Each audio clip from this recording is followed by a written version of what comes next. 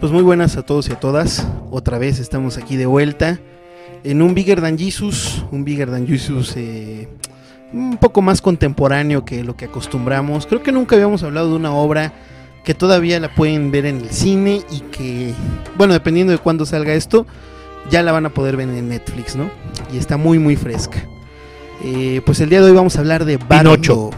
a Pinocho de ah, Guillermo del Ah, Toro. chinga, ¿no era, no se aceptan devoluciones? no, esa ya pasó, Oscar. eh, Oh, pasó, sí, esa ya. ya- Ah, chinga, ¿en qué año es un estamos? clásico. ¿En qué año estamos? Pues ahí donde ves, creo que, bueno, ahorita estamos en el 2022, ah, chinga, no estamos... casi 23. Ah, chinga. Sí, por- porque Es que- si no me equivoco, ya va para 10 años esa película que tú dices, que yo sé que tanto te gusta. Mucho me gusta, sí. Yo no coincido con Guillermo del Toro. No. A ti sí te laten las, Ah, las- definitivamente. las Las películas de- de, Derbez y de y Chaparro. de Chaparro. ¿Viste Sí. la de Chaparro donde es Pedro Infante? Ay, híjole, no me atreví ni a verla, no me atreví ni a verla. Yo sí la vi por morbo. ¿Y qué tal? Ah, horrible. Horrible, horrible, horrible. Porque además de todo, eh, él sabía que no le iba a hacer este. No le iba a hacer justicia al personaje y se sacó de la, man- de, de la manga un, una chingadera que supuestamente. O sea, él no es Pedro Infante. El espíritu de Pedro Infante posesiona el cuerpo de una persona, ¿no? Sí, sí, sí. Entonces es una mamada. Pero bueno. Oye, por cierto, caminando por las calles de la Ciudad de México ayer, que fui a una escuela, me topé en la calle de Enrique Repsamen con una placa que dice, esta fue la primera casa de Pedro Infante, Ah, no mames. ahí en la colonia del Valle. Ajá. Fui a una escuela, me regresé caminando, iba yo caminando por ahí y de pronto caminé por Enrique Repsamen, pasando entre Eugenia, no me acuerdo cuál es la otra calle, y ahí encontré la primera casa que tuvo Pedro Infante con su esposa María Luisa. Y hasta hay una placa allá órale. afuera. Sí, sí, sí, interesante. Bueno, afortunadamente no vamos a hablar de Omar Chaparro ni todos esos güeyes. Pero a mí, a mí me dijeron que era No se aceptan evoluciones. no. Esa película no. que conmovió a, a Marta de baile, A ¿no? Marta Josué? de baile. Sí, la Sí, conmovió. dijo que Derbez era el abuelito de su hija o algo así. Pues casi, casi, pero. pero, ¿no íbamos a hablar de eso? No, no, hoy no. Entonces, Hoy ¿por no. qué me dijeron que Vamos a hablar, de hecho vamos a ponernos más mamones y vamos Sí. a hablar de la Nouvelle Vague ¡Ay, cabrón! o la nueva ola francesa para los que no mascan el francés. Sí. Sí, o, o- o no sé, a lo mejor quieres hablar del expresionismo alemán. Oye. Ich bin der Himmlich Kunen. Ay, cabrón, ¿cómo has cambiado, Daniel? Yo lo sé, yo lo sé. ¿Cómo has cambiado? Te has vuelto un experto en, en la lengua. Yo siempre lo he sido. Sí, de plano. Sí, pero Sí. pues eso no lo quiero hablar en público. Sí, claro. Sí, o sea, no quieres darte a desear. Sí, exacto. No, vamos a hablar de algo más interesante, ¿no? Mucho más interesante creo yo. Sí. Bardo. sí, sí. Bardo, vamos a hablar de Bardo. Que bueno, antes de empezar, este, no sé en qué orden vaya a salir es- este programa, si este o, o- o el otro que estamos grabando el día de hoy, pero eh, le quiero mandar un, un saludo, y lo digo en serio, a la... A González Iñárritu. a González Iñárritu. No, a la, a la escuela primaria Vicente Guerrero y con, con unos cuates que la verdad es que cuando se enteraron que hago este programa, este, pues lo han estado difundiendo. ¿no? Y le han estado así entrando ahí. ah, a ver, a lo mejor me, me- me salto alguno, ¿no? Pero a la maestra Sandra, a la maestra Conia, a este, a la maestra Vane, al maestro Isaac, a la maestra Lucy. Y creo que nada más. A ver si no se me olvida alguien. órale. ¿no? Pero, O pero, sea, te has vuelto famoso. pero para que se y para que porque eh, este luego no me creen que sí lo hago o sea este sí ahí está ahí les mando ese saludo prometido porque además de todo casi a punta de pistola me pidieron que los saludara pero bueno ahí está ahí está y ellos saben eh, también se burlan de el somos unos guerreros así que pues, se puede hablar de eso Pues vamos a hablar de Bardo, ¿no? Esta película tan interesante de el buen González Iñárritu y que después de 20 años de Amores Perros se avienta esta película, ¿no? Cuando yo creo que ya no ya no le importa nada. O No, sea, no, no. ya puedes hacer lo que se te pega tu pinche gana y lo peor de todo, te sale bien, ¿no? Creo Sí, que es una gran muy, película. muy a Bardo. pesar de, de que la opinión está dividida totalmente no hay, hay gente que lo tacha de, De pretencioso. pretencioso, presumido este, Este, vanidoso, sí. Ególatra. ególatra, que lo es si quieres, pero se vale. porque le quedó bien la película, ¿no? Sí, a mí sí, me sí. parece que es una muy buena película. Y bueno, ¿por dónde le entramos? Pues para los que no hayan visto Bardo, a lo mejor sería sería conveniente que la vayan a ver, todavía va a estar en el cine un- unas cuantas semanas más. O si ya están en el futuro, pues pónganle en Netflix, ¿no? Y, o, o descárguense la de Taringa, de- perdón, ya no existe Taringa, de, de Torrent o, o, de- o- o véanla en Cuevana, ¿no? Porque yo creo que sí es interesante verla y, y que después escuchen pues las opiniones y el análisis, ¿no? Hacer el análisis. La verdad es que es una película que yo la estuve pensando mucho, mucho, mucho. Al final encontré unas cosas que yo creo que no es que no me hayan gustado, sino que me parece que por ahí entendería por qué es la polémica, ¿no? Y sobre todo unas opiniones de, de gente pues, que le sabe a, a estas cuestiones que han dado su opinión y me parecen también muy acertadas. ¿Cómo ¿no? qué, Daniel? Mira, hay un escritor, ahorita se me fue el, su nombre, eh, este que escribió el libro del narco no existe y que se ha dedicado a tanto, este, a tanto, eh, esta investigación sobre el narcotráfico eh, y, y bueno, ahorita, ahorita me acuerdo del nombre, ¿no? Osvaldo, Osvaldo Zavala. Zavala, Osvaldo Zavala, ¿no? Que habla, por ejemplo, de que Iñárritu habla desde un privilegio, ¿no? Y, y Lo ese- cual es cierto. lo cual es cierto, ¿no? Pero él habla di- diciendo, por ejemplo, que esa escena donde él está a, a la mitad, o sea, el personaje de, de, este, de, Ji- de Jiménez Cacho, está hacia la mitad del desierto viendo cómo los migrantes van, etcétera, etcétera. Él lo siente un poco hipócrita, en el sentido de que, de que pues, Iñárritu nunca vivió eso, o sea, simplemente lo está como ex- exponiendo como si fuera una eh, como si fuera algo de museo, ¿no? O sea, como si fuera algo de mírenlos, aquí están, ¿no? Cuando toda la vida él se ha dedicado pues a, a servir a las empresas, a servir a Estados Unidos, etcétera. Lo cual yo lo entiendo, pero también me parece válido que eh, Iñárritu lo exponga así en, la- en su película, ¿no? O sea, entiendo su punto de vista. Me parece que, que- que es válido, pero también me parece válida la visión de Iñárritu. O sea, de exponerlo, ¿no? Porque Sí. ¿quién? Sí, yo estoy de acuerdo que obviamente sí está planteada desde el privilegio, pero a, a diferencia de lo que acabas de plantear, a mí me parece que lo está planteando también desde una visión autocrítica. Sí, O sea, claro, aquí vienen las interpretaciones, ¿no? Porque al final, si le preguntas a él, él te va a decir, bueno, pues interprétala, carajo. O sea, yo ya te dejé ahí la obra, o sea, no me pidas que te diga qué significa. Al final Sí, de cuentas, sí, yo sí. creo que hay un eh, elemento de autocrítica, porque efectivamente, o sea, el güey se mueve en el privilegio. O sea, no es él, o sea, él no forma parte de este grupo de migrantes que tienen que salir expulsados por la necesidad de comer. Él sale expulsado de este país por otra razón. Y cuando digo expulsado, no es que se le haya corrido del país. No, es un Eh, autoexilio. Es que un autoexilio, exactamente. Sí. Yo creo que esa es la palabra. Porque al final de cuentas, a ver, eh, las primeras películas que hace aquí en México él son películas que de una u otra manera eh, reflejan una crítica muy severa a este país. Y al final de cuentas, ¿por qué se va? ¿Por, por qué se exilia? Porque aquí está encadenado. Claro, O sea, aquí hay, tiene que estar sometido al dinero que le da el gobierno para hacer cine, al este, por ejemplo, a los patrocinadores, y pues la verdad es que es un cine muy limitado. Y si le dan esa oportunidad de largarse, por ejemplo, que en su segunda película ya le dan eh, dinero gringo y, y- y puede irse al Medio Oriente a grabar, irse a Japón y contratar a este actores que hablas de Babel. de Babel, por ejemplo, que es su segunda película, eh, pues yo creo que ¿por qué no aprovecharlo? ¿No? O sea, eh, me parece que aquí hay, hay una cuestión de que tanta y tanta gente que además de todo está preparada, que llega al extranjero y le dice, oye, vente, ¿no? O sea, ¿por qué no aprovecharlo? ¿no? Ent- Entiendo que para muchos ojos eh, la- externos esa cuestión será como casi casi traicionar a tu patria, ¿no? Pero chingue su madre la patria, o sea, es- eso es un concepto nada más, ¿no? A ver, pero había lo, este, él habría logrado y no lo, o sea, voy a ser muy cuidadoso con lo que digo para que no se piense que estoy menospreciando el cine en México. Pero habría logrado Birdman en México? Quizá no así, ¿eh? O sea, no.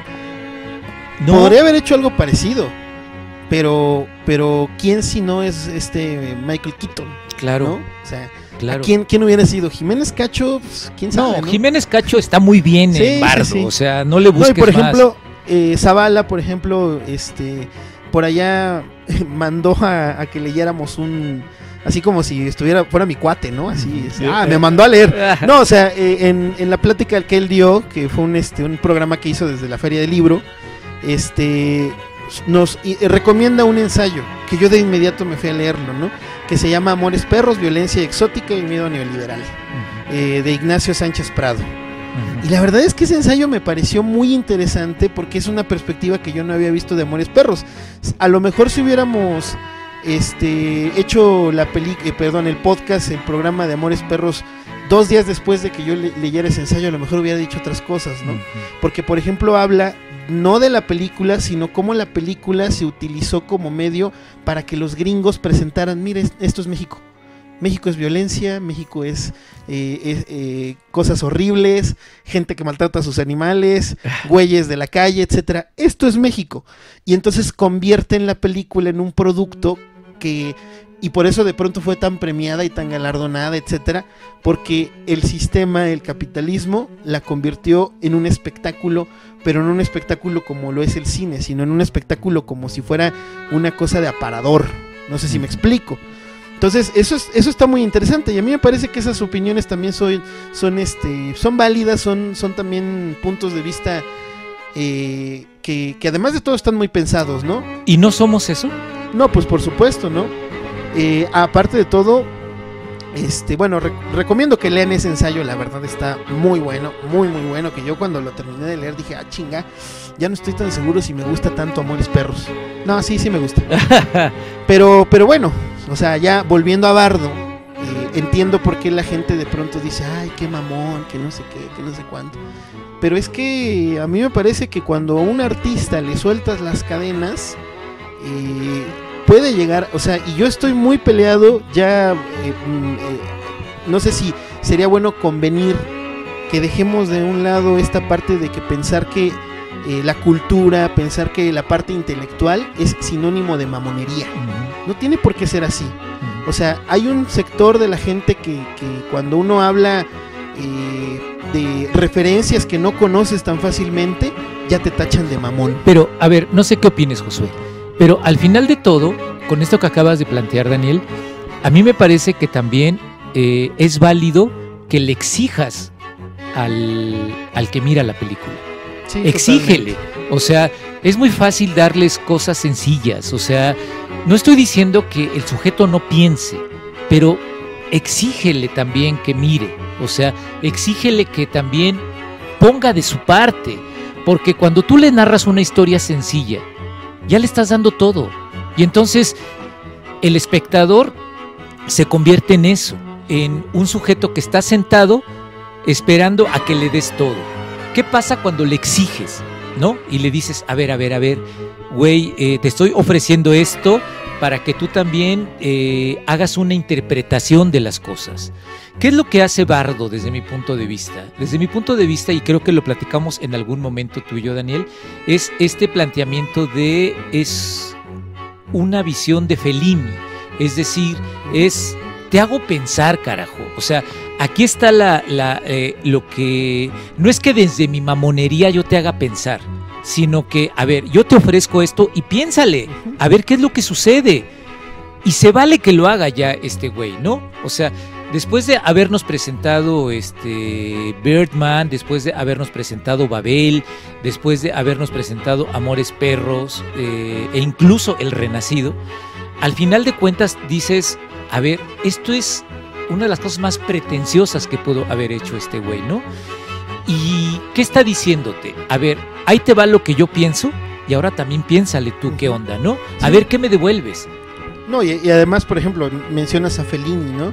Ocho y medio. Ocho y que medio. es la referencia más cercana, ¿no? Ujú. Cuando eh, ven Bardo, vean ocho y medio y es muy parecida, ¿no? Ujú, Eh, en su momento también la llamaron pretenciosa. ujú. O sea, en su momento toda la cuestión de, de esto que decía de broma, ahorita no lo digo en broma, el expresionismo alemán, la nueva ola francesa, todas estas corrientes que de pronto alteraban lo que eran las normas del cine, de pronto la gente decía que es esta madre, ¿no? Oye, eh, el antecedente lo vas a encontrar en el perro andaluz.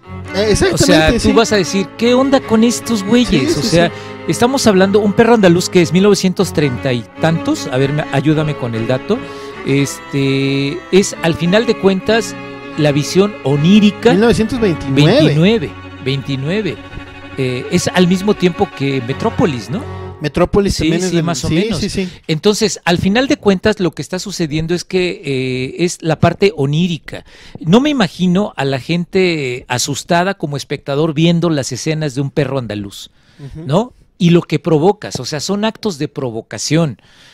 Tú tienes de, de tres alternativas, ¿no? Y creo que lo platicamos. Este, cuando vas a ver Bardo, tú te quedas y dices, aguanto y voy a tratar de entender las cosas. Otra, decir, me quedo para decir que, que desde mi mamonería sí le entendí. Y la otra, te sales. Sí. Y de pronto dices, "Pues, te chinga su madre, pero no también, me interesa. Pero también es válido decir, no le Totalmente es válido, también es válido. Pero al final de cuentas, no sé qué opines, Josué, pero yo sigo pensando que al lector, al, al espectador, hay que exigirle también.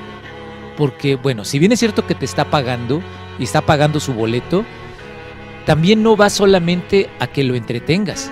O sea, va también a decir, ay, güey, o sea, quiero pensar un poco. O no sé qué Y opinas. también Josué. se vale, por ejemplo, perdón ahorita que, que- que, este, vaya Josué en su participación, pero por ejemplo, también se vale ir a desprenderte al cine de la realidad y ver una película que es horrible.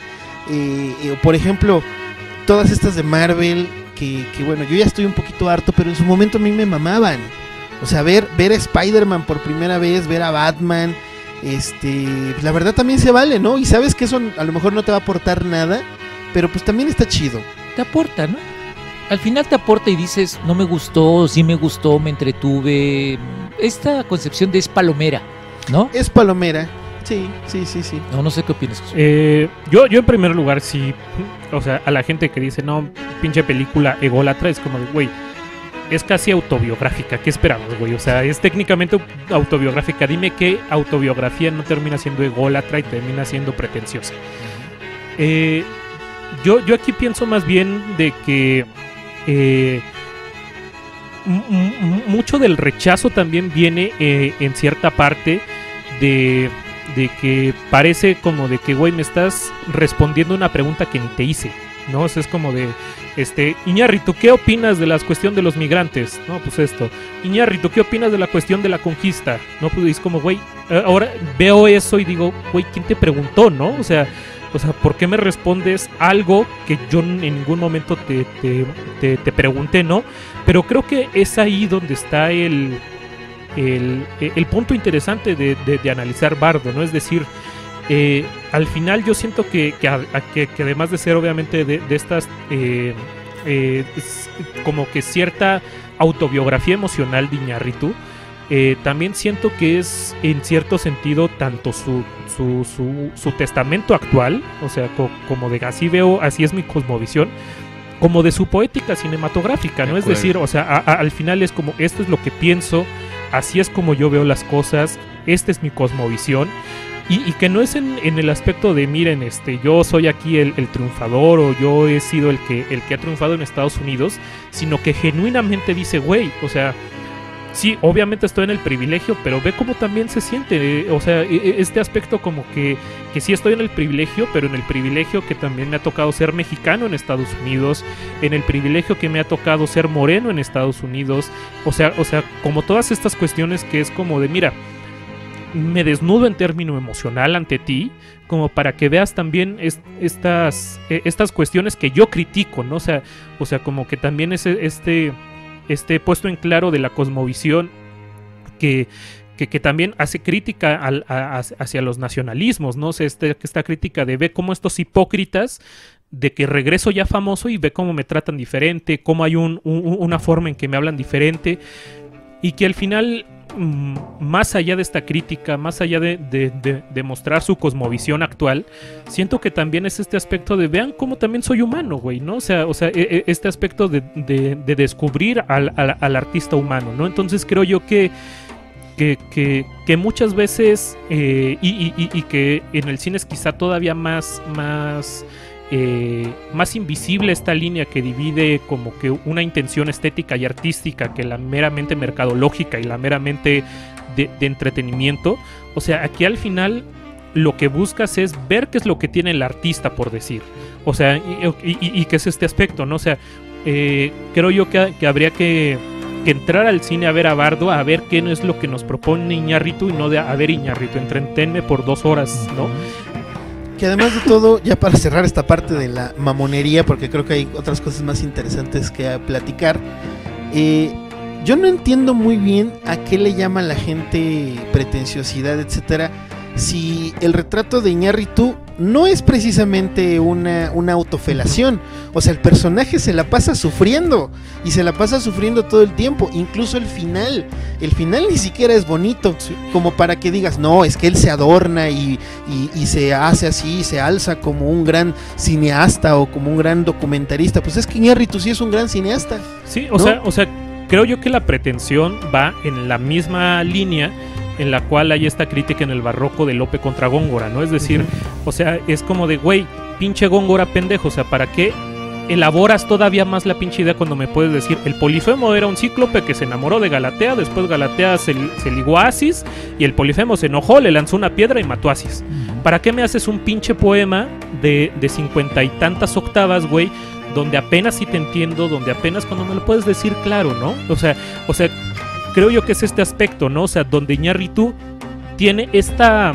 eh, no encuentra el lenguaje porque, o sea, si, si quieren algo no pretencioso, pues Bardo hubiese sido un documental, ¿no? O sea, un, Sí. un- un documental sobre su vida, sobre sus experiencias, sobre cómo, y, y- y- entrevistas a los personajes que formaron parte de su historia, y ahí está, ¿no? O sea, eh, eh, eh, o sea al final Bardo puede ser un documental, pero ¿qué, cu- ¿cuál es el punto? Y que, y que siento que es donde viene la pretensión de pronto decir, pinche ñarrito, o sea, era necesario que le metieras cosas oníricas, que te sintieras Es que acá como yo. más intelectual, porque este, metes ajolotes y de pronto están los ajolotes en el metro, o sea, este, o sea, todos estos aspectos que digo, güey, o sea, al final es el lenguaje del artista, o sea, eh, eh, y, y qué es lo que discutíamos, ¿no? También este punto donde decían, güey, pues si, si eso querías hacer, Iñárritu, pues eh, hubieras escrito un libro. Pues, güey, o sea, Iñárritu no se siente cómodo escribiendo un libro, o sea, lo donde se siente cómodo es escribiendo un guion, viendo dónde es el corte de, de la edición, cómo acomoda el sonido, este, cómo acomoda la luz, la interpretación actoral. No, o sea, que precisamente siento yo que, que- que las críticas de pretensión es como, ¿para qué enrevesas? ¿Para qué, para qué haces más, más rizo el rizo, no? Pero al final es como, güey, es que es así como él se expresa, ¿no? Es como de... Y, y aparte de todo, no solamente como él se expresa, como él es... Esa es su intención estética, güey, o sea... O Pero, sea, s- ¿sabes qué con lo que acabas de decir, Josué? Yo digo que la película es haciendo hablar a su inconsciente. Eh, Sí, sí, sí. O sea, y eso se Sí. vale. No, No, y, o y sea- además de todo, este, cuando, cuando un artista habla de sí mismo, eh, también hay que, hay que ver que, por ejemplo, Spielberg va a sacar una película que se llama The Fablemans, que va a hablar de su primera etapa como cineasta, o sea, es algo muy parecido, va- es, es, es semi-biográfica. Y a Spielberg lo están reconociendo en todas partes y se, supuestamente es una obra maestra y no sé qué, las pocas personas que ya la vieron lloraron y quién sabe. ¿Por qué entonces eh, no será una cuestión por ahí medio, medio racista eh, a Iñárritu por ser mexicano decirle, va, tu película no está tan chida y es mamona? ¿no? No será por ahí, porque, o sea, también eh, le pasó a, a Cuarón, o sea, la- Roma también es un poco eso, es una, es una cosa semi-biográfica, y no son los primeros que lo hacen. pero hay una diferencia. En Roma lo que está hablando es el recuerdo, lo que sí, está hablando sí, sí, es la parte nostálgica. En, en Bardo lo que yo siento es que lo que está hablando es el inconsciente. O sea, es esa latencia del inconsciente estar este, diciendo eh, esto es lo que soy y esto es lo que yo veo. Me recuerda mucho y, y- y que ahora que lo están diciendo ustedes lo pienso. A ver, cuando, y ya le hicimos un programa al ángel exterminador de Buñuel. Muchos de los elementos oníricos que Buñuel soñaba están en el ángel Ajá. exterminador. Sí, Sí, y a- al final de cuentas, lo que hace eh, Iñárritu, desde mi punto de vista, es hacer hablar a su inconsciente y diciendo, a ver, mi inconsciente tiene una biografía. Y eso es lo que creo que intenta plantear, ¿no? Entonces, a mí me parece totalmente válido, ¿no? Pero ahora, eh, cada vez, y ahora quiero poner este tema sobre la mesa, cada vez me convenzo más que nadie hubiera hecho eh, mejor ese papel que Daniel Jiménez Cacho. O sea, cada vez es más idéntico a González Iñárritu, ¿no? O sea, me imagino a, Jiménez, este, a Jiménez Cacho revisando y revisando y revisando quién es González Iñárritu, ¿no? Porque al final se acaba apareciendo en esa escena donde, donde, donde se abre la puerta y, y se encuentra y a la distancia lo ves, lo primero que yo pensé es, es González Iñárritu. Sí, sí, sí, sí. ¿no? Y era Jiménez Cacho, ¿no? Sí, sí, sí. Entonces, Pero lo, lo- lo chistoso, ¿no? Porque en Amores Perros yo, yo dije que este Iñárritu cada vez se parece más al chivo. O sea, entre más envejece, más se parece, pero a la parte más jodida del chivo antes de que se bañara y todo esto, ¿no? Y ahora este, este Jiménez Cacho se parece más a Iñárritu, ¿no? Y es una cuestión de transformación, pero además de todo, eh, esta parte de meterse a, a todo lo que, lo que le daña más, a- más allá del, del contexto, ¿no? La cuestión de la madre, la cuestión del padre, la cuestión de la familia, ¿no? los amigos. Los amigos, exactamente, ¿no? O sea, eh, yo digo que una de las escenas más chingonas es donde se, se encuentra con el padre, en el baño, y que además de todo, cuando lo ve, se va haciendo chiquito, Chiquito. ¿no? O sea, ¿y ¿cuántos y tantos no hemos sentido esa, o sea, no hemos tenido esa sensación de que cuando estamos hablando seriamente con el padre, decimos, chale, sigo siendo un niño, ¿no? Y cuando el padre, después de tantos años de dureza con uno, se sincera y le dice, mira, pues, yo te quiero un chingo, yo, yo te amo, eres mi hijo, no sé qué, estoy orgulloso de ti, puta, te sientes chiquito. Pero además, ¿en dónde se realiza ese- esa En escena? el baño. En el baño. O sea, estamos hablando del lugar más íntimo. Eh, un lugar muy íntimo, ¿Sí? donde hay ecos. Exactamente. Eh, lo que decía, por ejemplo, este William Blake, eh, el lugar más profundo de ti mismo es la cocina del alma, ¿no? O sea, eh, métete a la cocina del alma y entrarás al lugar más profundo, al lugar más íntimo de ti. Y yo creo que él se mete a muchos de estos lugares y logra mostrarte qué hay allá adentro. Eh, cuando, cuando está eh, en el salón, cuando está en esta, en esta parte de, de el salón de baile y que suena la música, llega el momento en que la música hasta se convierte en un aspecto ensordecedor. O sea, insisto, o sea, son actos poéticos, o sea, muy a la Jodorowsky, ¿no? No, y justamente yo iba a decir hace rato que si quieren ver algo mamón y pretencioso, vean, vean las dos películas que hizo Jodorowsky biográficas. Sí, claro. O sea, La danza de la realidad, realidad. y Poesía sin fin, que son dos películas eh, de- de- sobre la infancia y la juventud de Jodorowsky en Chile. Puta madre, eso, o sea, es un viaje, a mí me encantan, ¿no? Pero porque yo ya sé que Jodorowsky es mamón, Ujú. de, por sí, ¿no? Pero si quieren ver algo verdaderamente pretencioso y mamón y, y, y diez mil veces más, eh, más difícil, bueno, no difícil de ver, sino más críptico que Bardo, ahí están esas dos películas. ¿no? Y sí, o sea, y él mismo lo dijo, o sea, en una conferencia dijo, mi película tiene eh, esencia de Jodorowsky, de Bergman, de Fellini, etcétera, etcétera, etcétera, ¿no? Y, pero no es lo importante, o sea, lo importante es que además de todo tiene esencia de mí. Porque al final de cuentas, eh, ¿en dónde pudo haberse hecho este cine si no es en México con esos niveles de surrealismo que se tiene? Este, a mí me parece que la película sí aborda muchos elementos surrealistas y que tienen que ver con el aspecto poético. Eh, simplemente eh, esa, esa escena donde, eh, la, donde la parte final ¿no? Donde él va en el metro. O sea, es esa vuelta de tuerca donde inicia y cierra la película y lo que tiene que ver con lo que tú dices, Josué. O sea, ajolotes.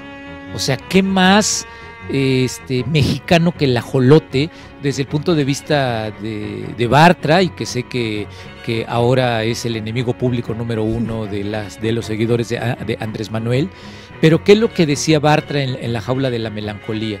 El mexicano es este sujeto que no puede crecer y que se queda atorado. Somos ajolotes.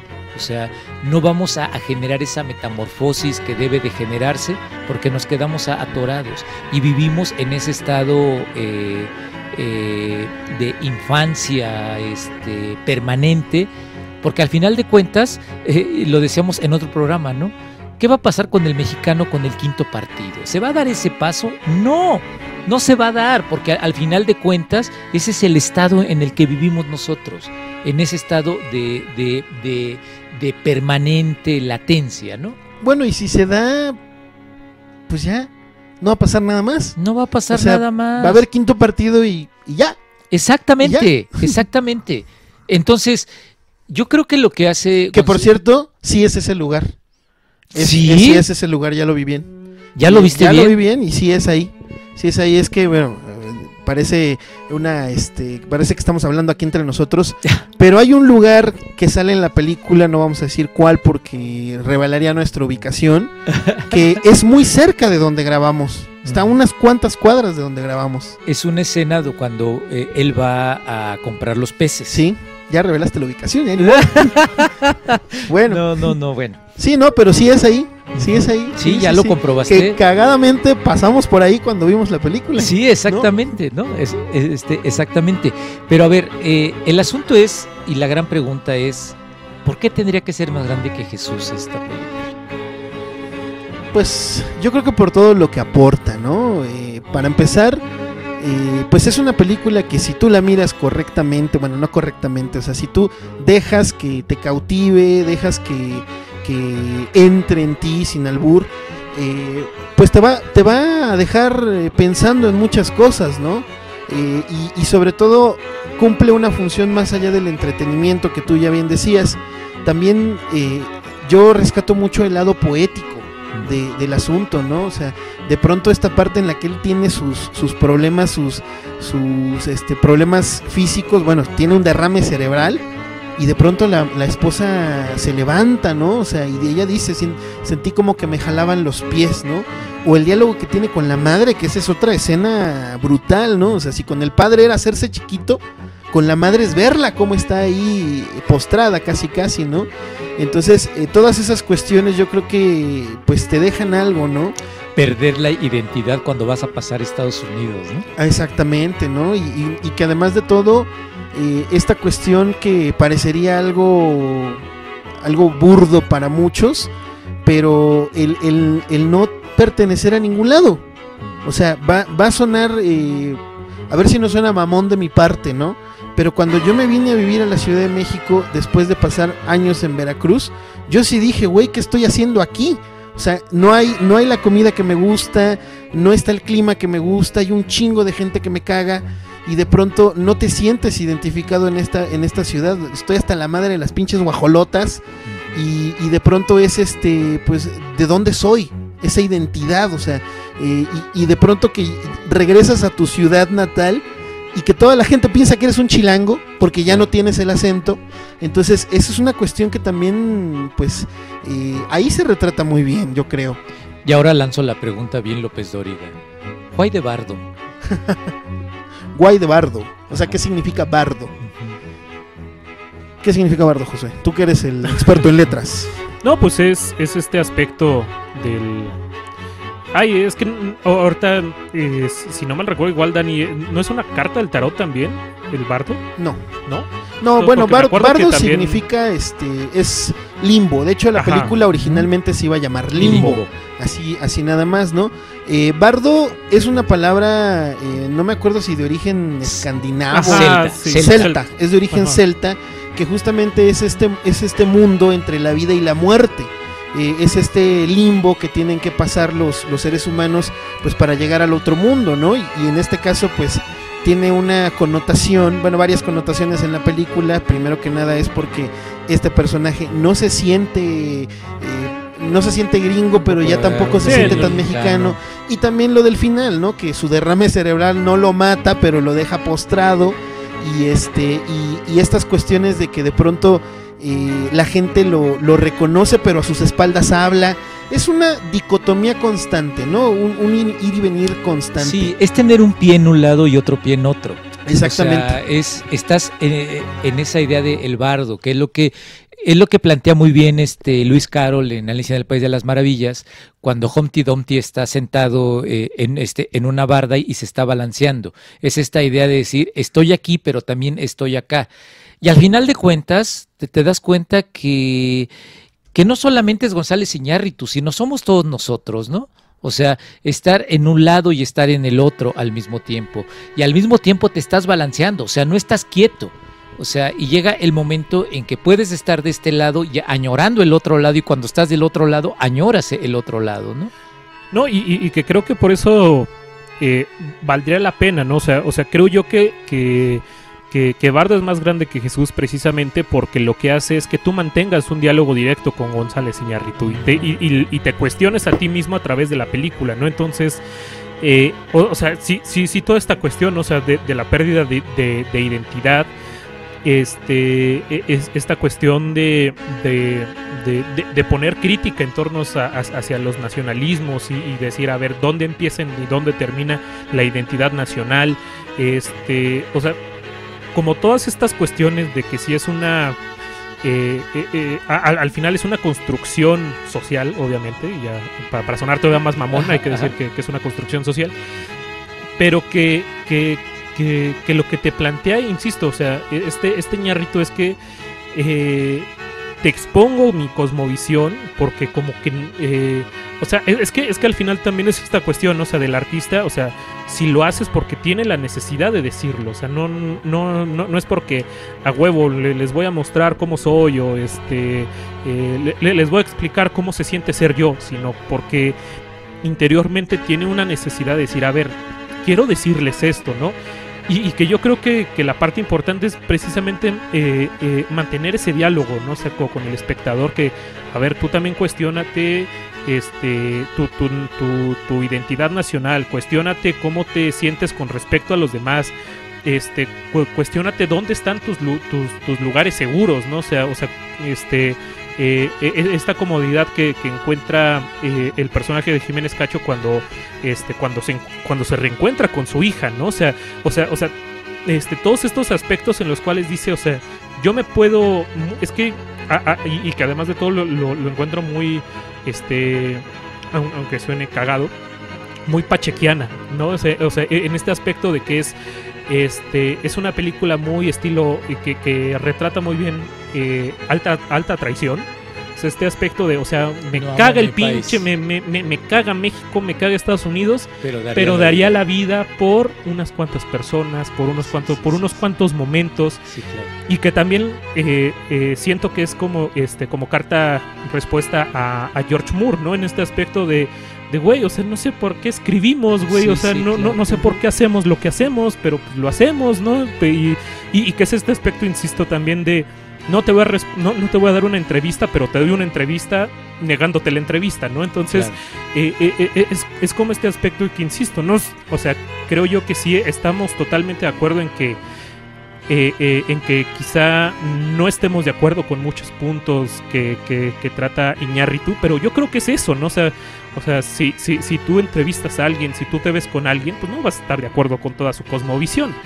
Entonces, yo creo que sí es este punto, ¿no? En el cual, por ejemplo, o sea, o sea quizá, y, y quizá quieras desarrollar más, Oscar, ¿no? Este, este asunto de cuando dialoga con Cortés, que sí, obviamente es un momento totalmente eh, cuestionable, y que, pero que abre la conversación en torno a la conquista, ¿no? Y, y- y que, abre, y que abre la conversación en, en torno a ver. Entonces, ¿qué somos, no? O sea, en este aspecto entre la combinación, eh, entre las raíces indígenas, en- entre el origen español, de- después de, de todas las mezclas que, que- que suceden en la Nueva España. O sea, pero que es importante es, ese punto de partida, compartas o no la visión con Iñárritu, ¿no? Y, y que sucede con las otras cuestiones, ¿no? La cuestión de los migrantes. O sea, puedes estar o no de acuerdo con la cuestión de los de, de cómo ve o cómo retrata la cuestión de los migrantes, si es innecesario ponerlo en la película, si está de más. Pero al final abre la conversación en torno a ello, ¿no? Entonces creo yo que eh, uno de los grandes puntos de Bardo es precisamente ese, ¿no? O sea, que sales de la sala dialogando contigo y con Iñárritu, ¿no? Claro. Sí, y fíjate que yo quiero agregar un punto con lo que acabas de decir, que tiene que ver con esto que tanto hemos platicado también entre nosotros. Eh, esa situación que tiene el hijo de hablar en inglés y al mismo tiempo en Español, castellano, sí, sí, ¿no? sí. Y entonces de pronto dices, eso es lo que somos. Es que el hijo es un white chican. Exacto. O sea, el hijo es. Y así son los white chican. Sí, claro, pero ahora, ¿qué haces? O sea, decirles que, que los criticas por eso. No, forma parte Pues de... sí. o de sea, la realidad. Eso es, exacto. La- Exacto. o sea, la manera en la que, la que ellos se expresan eh, sí causa como, un, como cierto impacto pues para, para los sectores más populares, ¿no? Porque es así como que son unos mamones. Sí, O claro. sea, por, por hablar inglés se sienten acá mucho y, y, y sí, muchos de ellos lo hacen así. basta con ¿no? que vayas a la Condesa o a la Roma. Basta con que sí. veas los TikToks ahí de Hank y veas cómo los expone, ¿no? Que a mí me parece muy, muy chingón ese güey, ¿no? Pero, pero también es esa parte de que, güey, pues ellos han crecido así toda su vida. Claro. Sí, sí, sí. Hazlos eh, Claro. romper su burbuja epistémica así de un momento para otro, no se va a poder. Sí, no, y, y que el mejor ejemplo es precisamente la escena de, de cuando regresan a Estados Unidos. O sea, el hijo empieza diciendo, ya, papá, ya déjalo, Sí, ya, sí, ya", sí. y termina, no, a ver, cabrón, ¿cómo que no es mi casa, güey? Sí, sí, ¿No? o sea, sí. y, y que, y que es ese proceso precisamente en el cual un, un, cine, un, un güey sin identidad va a dar como resultado un hijo también sin identidad. Sí, exacto. ¿No? Y, y- y que es ese proceso de búsqueda eterno. Porque le también. arranca su identidad a muy temprana edad, ¿no? O Sí, sea, sí, cuando sí. es niño, te chingas, nos vamos a Estados Unidos, ¿no? Y, y, y cuántas situaciones no hay así, o sea, de, de todos los sectores. Pero también. además te llenas de ese planteamiento que en su momento nutrió la esencia mexicana del nacionalismo. O sea, envolverte en ese nacionalismo eh, que, que al final de cuentas es una, decía hace rato Josué, una construcción social que te das cuenta que fue usado con un propósito. Sí, muy sí, bien sí. retratado en la parte del castillo de Chapultepec. Totalmente. Sí, claro. ¿no? Que además Totalmente. de todo tiene un diálogo con un gringo que el gringo le da su, su perspectiva, ¿no? O sea, este pinches mexicanos, ustedes se, se chingaron y tú no, ustedes nos robaron la mitad del territorio, Sí, ¿no? claro. No, se los pagamos por una mamada de dinero, ¿no? O Sí, sea, claro. entonces es ahí un, un diálogo que me parece un poco más ingenioso que lo de Cortés. Y, y que además de todo, mientras sucede esta parte de la invasión, ¿no? Eh, y que los gringos entren como si fueran serpientes, ¿no? Y que además de todo termine con el, el Juan Scuti aventándose de- con la bandera. Y lo chingón, que al final todo es un espectáculo. ¿no? O sea, e- eso es lo chingón. Y no es. Pues es un Es, espectáculo. es lo que ha sí, sido durante mucho eso. tiempo. O sea, eso es lo que ha sido durante mucho tiempo. Y a- al final de cuentas, esta narrativa que de la que estamos hablando es una construcción que nos han hecho creer y que la has comprado como tal. Totalmente. O sea, y que de pronto por eso cuando de- dices, a ver, ¿qué quiere decir este güey?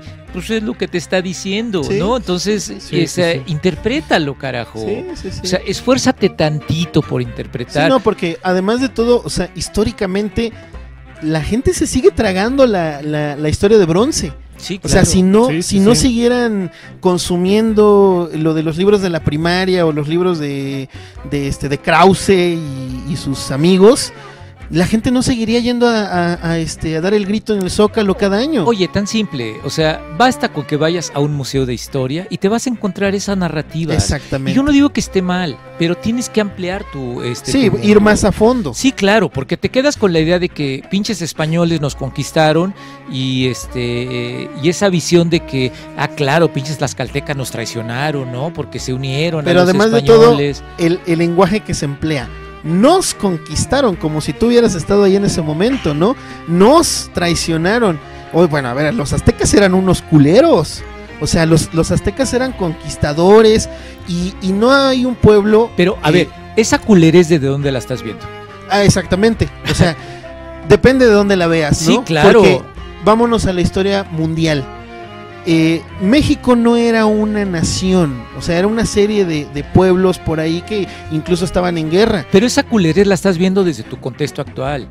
O sea, cuando los mexicas hacen conquistas. Ah, bueno, sí, y totalmente. su- sí, o sí, sea, sí, sí, sí. Lo están haciendo Claro. desde su planteamiento este, Religioso, cultural, cultural, sí. O sea, en la propia construcción, o sea, para ellos estaba bien, Exactamente. ¿no? Sí, y exactamente. claro, lo ves con la culerez de ahora. No, y, y- y que también va con este plan y que, y que creo bastante bien. O sea, al final, eh, o sea, de, de- los tantos, de, de las tantas aristas que tiene Bardo, que, que es este, este entorno de, la nacionalidad y de, la identidad nacional, o sea, al final nos hace ver precisamente esta cuestión de, de en primero, cómo, cómo se eh, la, la nacionalidad surge a partir de etiquetar a un otro, un otro que no, que, que no forma parte de la comunidad. Eh, en primer lugar, la segunda que creo más importante es esta desromantización, o sea, este, cuántas veces uno eh, le venderían en la primaria que Juan Escuti antes de aventarse se echó un poema nacionalista este, a- a- hacia la bandera y en la película que dice viva México cabrones no y se avientan o sea o sea todas estas, estas cuestiones que, que, que- que nos hacen precisamente preguntarle a la historia no Es- este asunto de de o sea mu- muy muy muy en serio no o sea ¿por qué en mi carrera en letras vemos a Sor Juana en literatura mexicana y no española? Claro. O sea, Sor Juana, si le vas y le, si bajas- viajas en el tiempo y le preguntas a Sor Juana, no te va a decir, yo soy mexicana. Claro. O sea, o sea, tú estás dando por sentado de que es poetisa mexicana porque nació en el territorio que ahora es México. Pero si tú viajas en el tiempo y le preguntas, yo soy española. Claro. ¿No? Porque el concepto de México va a surgir hasta el siglo XIX. Sí. Entonces, A lo mucho te va a decir soy novohispano. Ajá, exactamente. Ah, ah, y, y, sí, y- sí. y que es todo este aspecto, ¿no? O sea, precisamente, ¿no? O sea, o sea, eh, te venden de eh, este, este concepto de es que los tlaxcaltecas eran unos culeros y, y- y- y que también lo ves en todo este aspecto porque ya estás occidentalizado. totalmente. No, o sea, ya, ya, ya ves la cuestión de que, bueno, es que está mal sacrificar, es que está mal torturar, es que está mal saquear, es que está.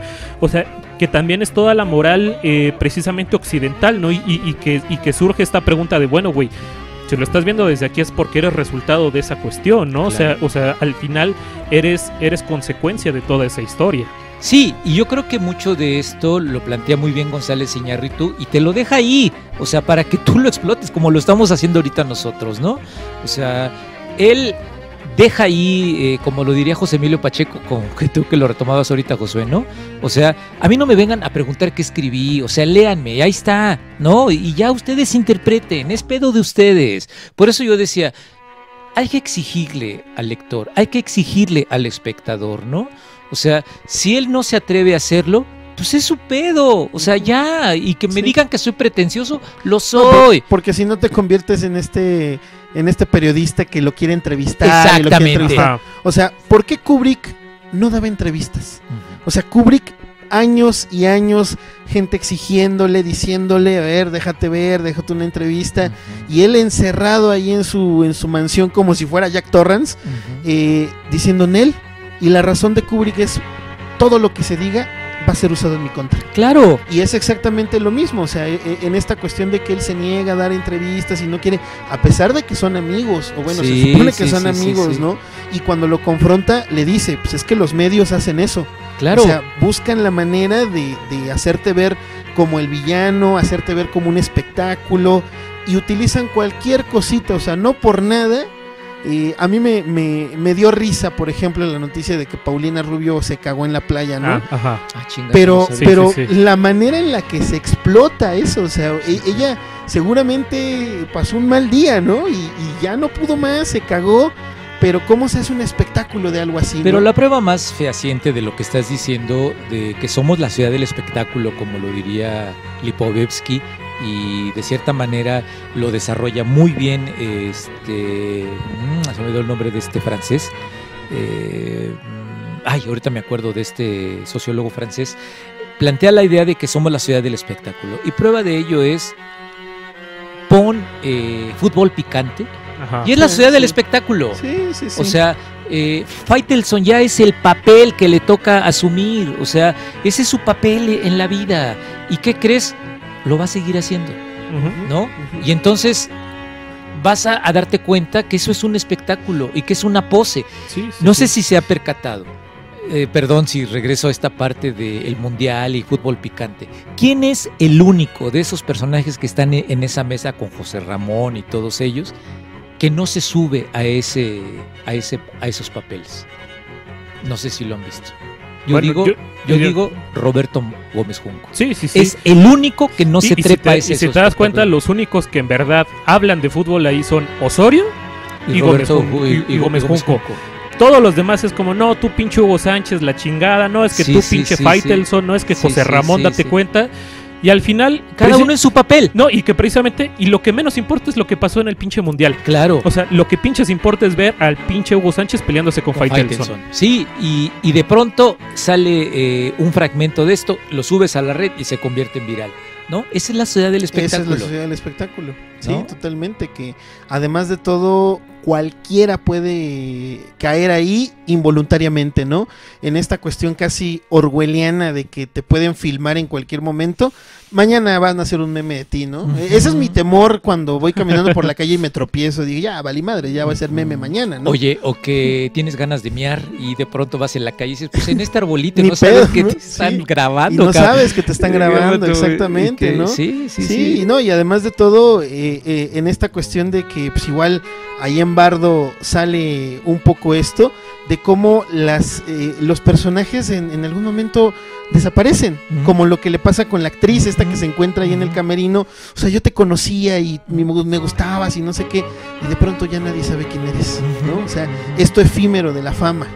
Sí, eh, eh, la sociedad líquida, ¿no? Este, Bauman. Diría Bauman, Sí. ¿no? O sea, lo efímero de todo. Y al final de cuentas, toda esta discusión sobre Bardo va a desaparecer en algún En algún momento va a desaparecer. No, y, y que al final también es esta cuestión de, de- de poner en, en- en la mesa también su, su carta de, de- de acciones. O sea, Ñarrito te deja desde un principio, güey, yo si hubiese tomado la decisión y nacía, cabrón, ¿no? O sea, sí, exactamente, exacto. o sea, exactamente. O sea, o sea, me criticas todo, pero güey, o sea, si me preguntas desde un principio, yo, yo no hubiera yo- yo nacido, no yo no, hubiera yo querido nacer. Esa primera escena es maravillosa. O sea, Sí. es que se niega a nacer. Vuélvelo a meter. Ni pedo, ¿no? Sí, sí, y luego sí. cuando está caminando con el cordón Con ahí, el cordón sí, umbilical. atorado quién sabe Sí, sí, dónde, ¿no? sí. Y que córtalo. Córtalo. No sé, hay unas tijeras ahí. Sí, sí, sí. Órale, A ver, ¿sale? interpreta eso. O sea, es que, reitero, o sea, si no te esfuerzas un poquito por entender qué pedo con esto, No, es que esa es una de esas escenas que te deja pensando, ¿no? O sea, me parece que es muy clara a la, a la idea de, de no quieren hacer, dice que el mundo está de la chingada. Pues ni modo, vuélvelo a meter, ¿no? Ajá. Que después eh, te enteras de que es un dolor que él trae ahí por un, un hijo no nacido. Ajá. Claro. ¿no? Oye, y cuando están haciendo el amor y que se vuelve a Y que vuelve asomar. a asomar, Sí. sea, me está viendo otra vez, ¿no? Sí, sí, ¿Y sí. qué hacemos, no? Pues yo creo que vamos a, a dejarlo en algún lado, ¿no? Claro. Y que bueno, ya después entiendes que es esa, es esa carga constante que, por ejemplo, yo lo veo cuando. Eso es muy de, de psicoanálisis, ¿no? Estas mujeres que de pronto tienen un aborto y se tatúan el nombre de su hijo, Claro. Sí, ¿no? sí, O sea, sí. es. Lo vas a tener ahí para Híjole. siempre, ¿no? Y no quieres des- desprenderte de eso, ¿no? Y, y- y en esta cuestión, otra vez trabajo psicoanalítico, y yo diría que incluso hasta un poco psicomágico, ve a dejarlo al mar. ¿no? Claro. Sí. O sea, ve a dejarlo al mar. No, y que, y, y que aparte del, del peso, creo que también es este aspecto de, güey, ¿por qué no soy tú, no? o sea, o sea, ¿por sí, qué sí, yo tuve sí. que nacer y tú no, güey, no? O sea, o sea, o sea, o sea, o sea, como, co- eh, eh, como incluso esa envidia, ¿o ¿no? Un poco de, de, de, de- de ser nonato, ¿no? Y, y como bien comentas, ¿no, Dani? O sea, como que eh, es este... eh, y, que también creo que es, que, que- que es lo importante porque mucha gente se va a ir con la con la lectura rápida en el aspecto de pensar, ah, es que todo fue un sueño. Ah, exacto. ¿No? O sea, o sea, Sí, o sí, sea sí. mucha gente se va a ir co- con, la lectura rápida, cuando en realidad es este, es este constante, es, es este, ay, el cuento de Cortázar, de este, este, el, ¿El ajolote? no, el, el de, el, el del motociclista, Ah, este. es- la, eh, noche boca arriba. La- eh, es, es la noche boca arriba, es decir, o sea, aquí lo que menos importa es qué es lo real y qué no es lo real, Claro. ¿no? O sea, a- a- aquí lo que importa es precisamente todas estas conexiones, ¿no? O sea, eh, cuando platica con su amigo en, en- en la azotea y este y, y- y te dice, ay, tu pinche cena con Hernán Cortés que tú no has visto. Que tú no has Y después vas a ver exactamente. 40 minutos Sí, después. sí, sí, sí. O sea, toda esta cuestión cuando, cuando tú te comparas en el término onírico, que, ah, es que sí, es un niño que, decidió regresarse al vientre, ¿no? Y después te enteras que no, en realidad es un nonato que se le murió el personaje, ¿no? Y, y- te das dando cuenta de, de- de ciertas eh, cuestiones que, que- que no es que rompas o no rompas la ficción, sino es más como la cuestión de, de que tú te pongas a, a- preguntarte en torno a ese lenguaje onírico dónde empieza y dónde termina la ficción y, y que no es que una sea más real que la otra, no es que una sea más real o una sea menos real, sino lo que implica es precisamente este, este aspecto en el cual de, es que, güey, todo coexiste a la vez. Todo coexiste a la vez. Y no es que la, la- la ficción sea mentira, sino que le da esta oportunidad de precisamente dar estas otras interpretaciones a la vida, ¿no? Y, y decir, este, a- apenas este, para, para una plática regresaba un, a una, una minificción de, de, de Monterroso, ¿no? Que este, decía, Dios todavía no ha creado el mundo, todavía lo está imaginando como en sueños. Por eso el mundo es perfecto pero confuso. Claro, Sí, sí, claro, sí. Y es claro. que es esta sí, cuestión sí. la que, la que plantea. Oye, no, porque pero- además, bueno, No, tú- no, tú- tú dilo, dilo tú. No, es que la película es. eh, o sea, esto, esto que dice Josué te, te, te dice cosas que todavía no suceden y cuando suceden dices, ah, era por eso, ¿no? Eh, eh, tiene esta virtud de que de pronto, o sea, no deja de, de sorprenderte en esa. eh, de pronto es muy críptica. Pero ya cuando la descifras dices, ah, no mames, ¿no? Pero- esto, es, esto es más profundo.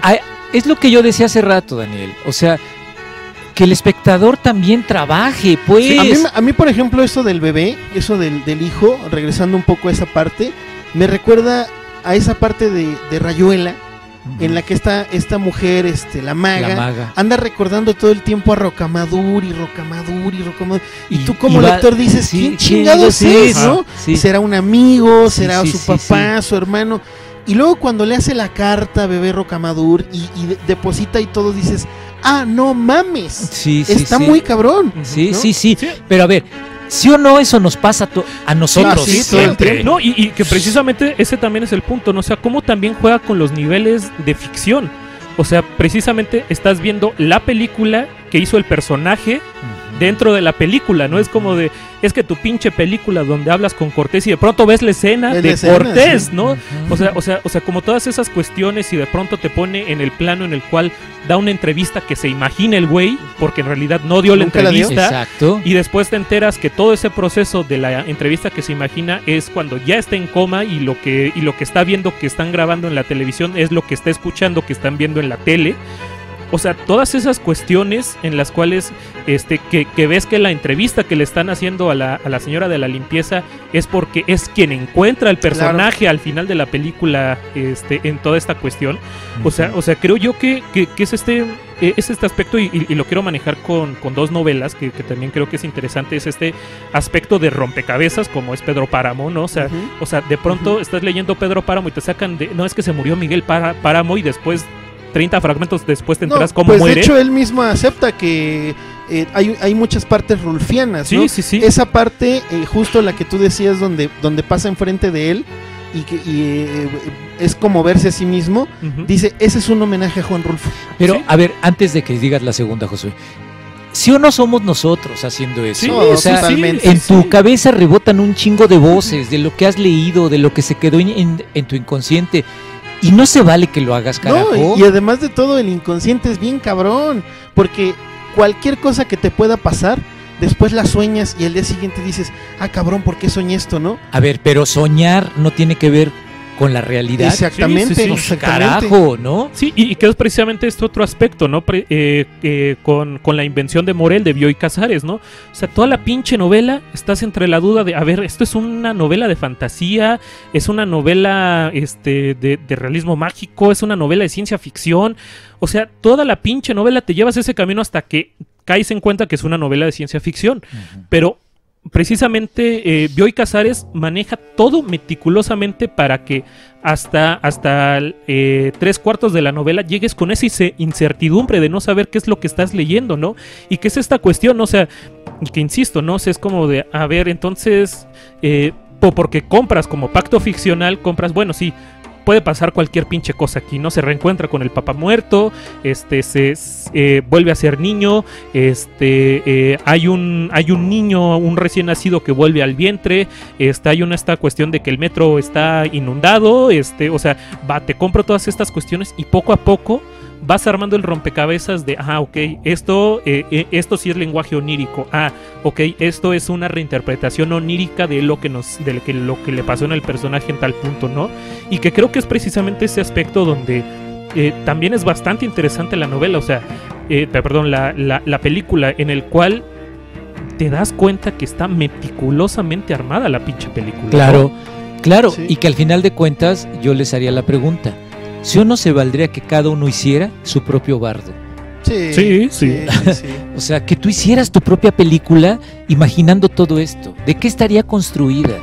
¿Cómo la construirías? Y somos todo eso. Entonces, yo digo, chingón por González Iñárritu. Sí. Que tiene lana para hacerlo, que alguien le aporta la lana, que la tenga el talento sí, para sí, poder sí. hacerlo, que un Jiménez Cacho le haya dicho, sí hago este personaje. eh, además de todo, o sea, viniendo de Netflix, que, Claro. que yo creo que ya hay que desprendernos de esta idea de que Netflix es nada más este inclusión forzada y no sé qué Eh, escena de sexo. escena de sexo entre gays y no sé qué no sé qué no porque yo creo que ha ampliado mucho su espectro no y, y de pronto eh, si no fuera por Netflix o sea no existiría el pinche irlandés que es una maravilla no no existiría Pinocho que ya va a salir eh, no existiría esto La de ¿no? Guillermo del La Toro. de Guillermo del Toro no y este y, y creo que pues es también ampliar estos horizontes no no nada más es inclusión forzada y eh, seguir una agenda política no Pero, a ver, la gran pregunta es, ¿por qué? ¿Por qué? O sea, eso no lo ibas a encontrar en Disney, a No. pesar de que se vayan a lo políticamente correcto, de que una princesa ahora sí puede ser af- este, afroamericana y que no tarda en una princesa lesbiana y todo esto. O sea, eso Ya es forzado. No, ya Ah, sí, ahí no, en sí. Disney. sí, Sí. Disney, bueno se supone Sí. que esta Elsa de Frozen es lesbiana Ajá, se supone. se supone Bueno, Sí, o sea, no. pero, pero no te, o sea, este- esa es tu interpretación. Mm, pues o no, sea- lo han dicho los creadores, o sea, Ah, bueno, lo han dicho así. no, sí, O sea, yo, yo porque odio Frozen, eh, o te sea, lo juro. let it go, esta cuestión de, de sentirse libre. Libre, libre es soy, porque- libre soy, es es porque porque ya sí. salió del closet. Sí, sí, Ah, sí, sí. mira. No, pe- pero yo creo que precisamente con la cuestión de lo, lo que mencionabas en el último directo, Netflix es como el, es el actual Joaquín Mortiz del- de, de las producciones cine- cinematográficas. O sea, ahí puedes encontrar la pinche serie más horrible y que producen Sí. y que sea lo más comercial. Pero también te encuentras estas cosas que, que, que es precisamente Netflix diciendo, güey, mira, tengo dinero, güey. Me lo voy a estar. Yo sé que, Ajá. y, y yo sé que tú vas a vender, güey. A ver, sí, haz sí, lo sí, que quieras, Güey. Voy a hacer Claro. el live action de One Piece, ¿no? Sí, güey. Sí, O sea, sí, sí, sí, sí. No, Sí, sí, sí. Y, y luego no, o sea, cualquier mafufada. Merlina, chingue su madre, Sí, ¿no? vo- voy Sí. a hacer el live action de Avatar, la leyenda de Ándale, Aang. sí. Sí, Sí, y, sí, de, sí. y de pronto dice, a ver, eh, tú tienes algo que decir, ¿quieres decirlo? Ten, güey, órale, diviértete, hazlo. sí. Oye, pero van a aparecer muy mamón lo que voy a decir, pero esa idea era lo que tenían los Beatles planteado cuando hicieron Apple. Sí, sí, sí. O sea, aquí cabe todo. Vengan, o sea, vengan, hagan lo que quieran. Aquí hay lana. Este, aquí puede cantar Mary Hopkins lo más este cursi y puede estar este Badfinger cantando lo más chingón. O sea, aquí cabe todo. Y al final de cuentas, este, ¿qué fue lo que pasó con Apple? Se fue a la pues se chingada. fue a la chingada, ¿no? madre. Pero esa era una idea de ellos. Sí, pe- pe- pero es esta cuestión que creo que también es interesante de, de, de, de- de la cuestión de, de Disney, ¿no? O sea, por ejemplo, de, no, es que necesitamos varo, güey, apela a la, a la nostalgia, saca segunda parte de esta película que salió hace pinches 15, 15 años, güey, apela eh, a, a la nostalgia. O sea, o sea, como todas estas cuestiones actuales en las cuales hay una necesidad mercadológica detrás Claro. y que Netflix, claro que la tiene, pero también dice, vamos a darle cabida a las voces que quieren decir algo.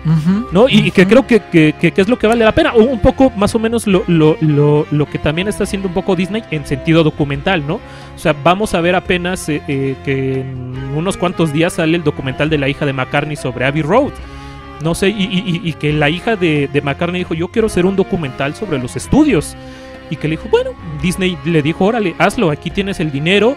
Y va a entrevistar a Elton John, y va a entrevistar a Roger Waters, a, a David Gilmour, a, a su mismo padre. O sea, les, los va a entrevistar a todos y va a sacar un documental en torno a, a esa cuestión. Lo mismo pasó con Peter Jackson, de, necesitas varo, güey, para acabar el proyecto de Get Back, ten el varo, güey, órale, hazlo, ¿no? Y que es esta cuestión que, que, que creo que es la, la, la- la que vale la pena de, de estas plataformas, ¿no? En el cual dicen, vamos a darle, eh, eh, el artista quiere decir algo, vamos a darle chance de que diga algo, ¿no? Claro, Porque va a haber alguien que lo va a ver. Sí. Va a haber alguien sí, que lo- va a haber un Daniel Arellano por ahí que lo va a ver. Y va a haber unos güeyes que van a hacer un programa al respecto. Pero me gustó mucho Bardo. Sí, A a, mí también, gustó a mí también. Sí. Me parece que es, es una gran película. Y yo no sé en qué lugar la pondría. O sea, definitivamente arriba del Renacido, no. Definitivamente. ¿Sabes?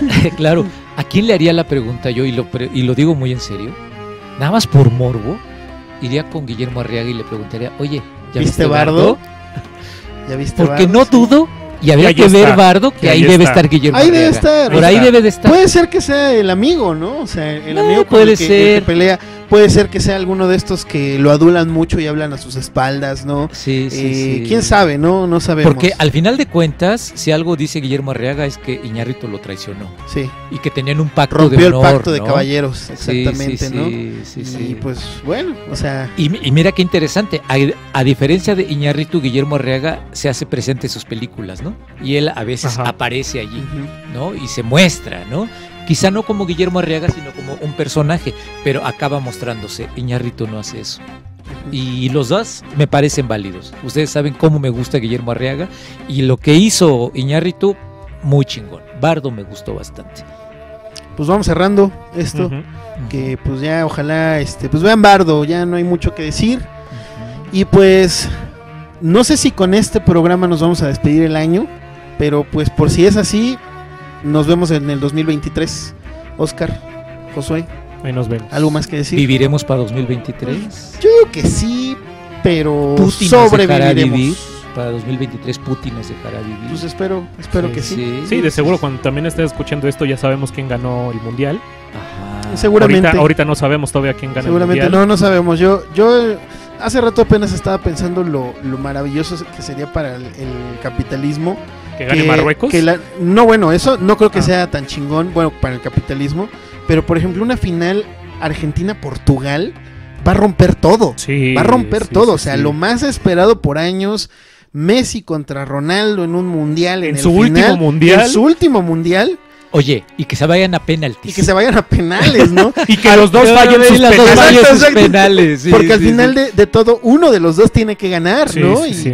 Y bueno, esa es, eso, eso, ustedes que están escuchando esto a lo mejor ya lo saben y nos pueden poner ahí eh, qué opinan al respecto, ¿no? Escríbanos qué opinan sobre Bardo y pues, eh, no sé, nos despedimos. Sí, vámonos.